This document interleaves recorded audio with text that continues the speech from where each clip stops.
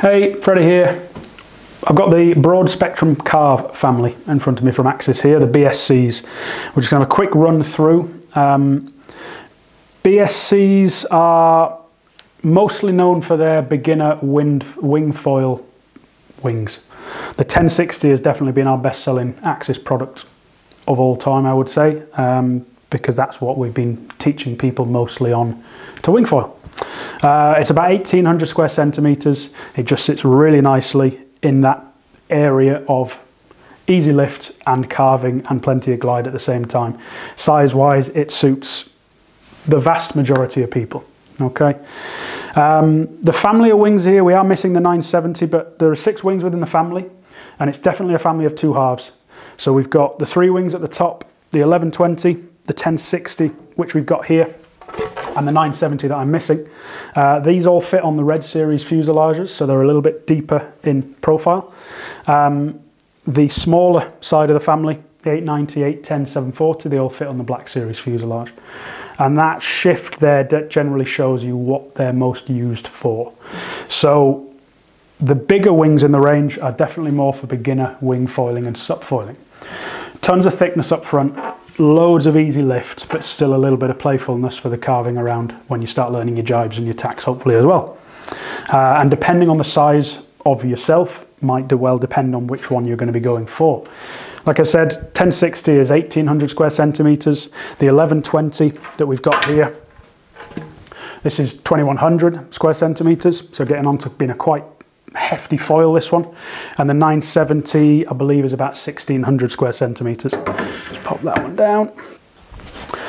This ticks a lot of boxes for around the 80 kilos size. Uh, 1120s is going to be for your bigger guys. You'll probably see that in a few of our schools as well. That's what they're teaching because it's, it's, just super easy to get people up up and on foil on. And the 970 for your 70 kilos and below kind of kind of weight. They've got a super low stall speed, so they just keep going. They lift so early. They're perfect for your early first few glides on a foil essentially. And that doesn't just stop when you go down into the smaller wings.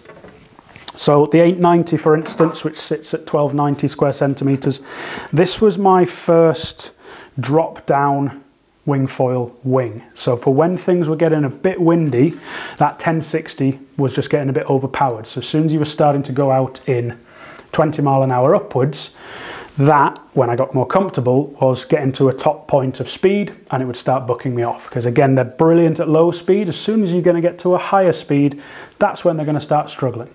That's when we have the option of dropping down to a smaller size. And if you're going to be going out in more of those conditions, that's when it's more suited to, to add a smaller wing on. So at 1290 square centimeters, this was my drop down.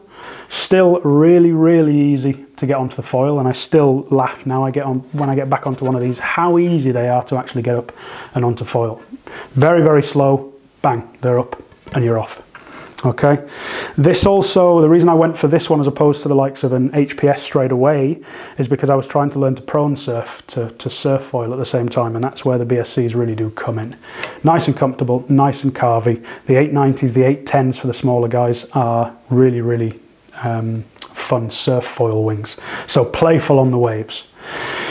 You tend to find a lot of the faster wings can outrun these waves, so you want to stay more in the pocket, they say, on the, on the waves, and that's where these BSCs can come in really nicely, and they handle a lot more carving.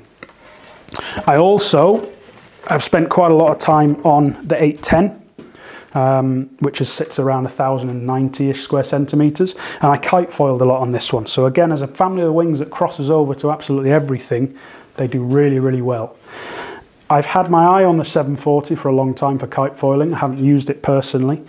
I had the 810 for prone foiling and crossing over to kite foiling as well. You don't, didn't want to go too small straight away, but the 740 would make a fantastic free ride kite foil. They all sit around the six and a half um, uh, aspect ratio, but the chord on the 740 is only down at about 140 mil, so it's actually really nice and reactive.